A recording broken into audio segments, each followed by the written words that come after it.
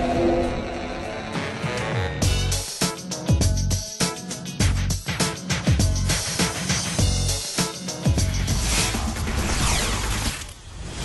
My computer or my laptop is probably one of the most important business tools I have, but it's not always practical to be lugging it around.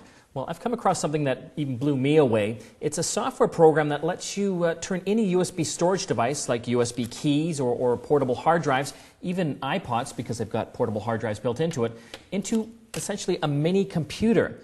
And I'll show you what I mean. I've already installed it, but basically it's a, a free download. You can uh, try it out, I think, for about 30 days, and after that it's about $50 for one license.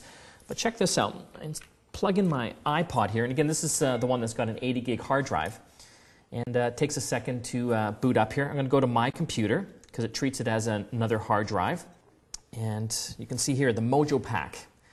That's uh, actually the iPod. By clicking on that, I go down to the Start button here. And what it's essentially doing is it's taking all of my stuff, my data files, my programs that I've installed onto it, onto any computer. So I could take this basic iPod or any hard drive for that matter, take it to an internet cafe, a friend's computer, maybe a, remote office, and by simply plugging it into that computer, I have all of my files and all of my programs. And I'm talking like uh, Microsoft Office, Photoshop, iTunes, even games. So what we've got on the screen here is the login. And uh, I'll type in my password. And before we go into the whole login thing here, you can even have data copy. And what that essentially allows you to do is copy all of your favorite documents onto the device so you can take those with you as well. But we won't do that right now. Cancel that.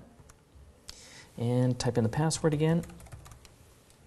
And by logging on, it essentially creates another desktop or almost like another computer on the computer I'm using without affecting the host computer itself. And here we've got uh, my computer. I can have my own desktop wallpaper, all my uh, favorite internet settings, and all of my applications. If I've installed Microsoft Office on here or a game, as I was saying, I can now run it on this computer, even if it didn't have it before. And to switch back to the host computer, just to show you nothing's affected, you just hit the switch to Mojo, and I'm back to the host. And one more click here takes me back. If you want to take your office on the road, you don't want to lug a laptop around, but you know there's going to be a computer on the other end, check out this Mojopac. It's only 50 bucks and lets you take all of your files, any of your applications on any type of uh, USB hard drive or even USB key.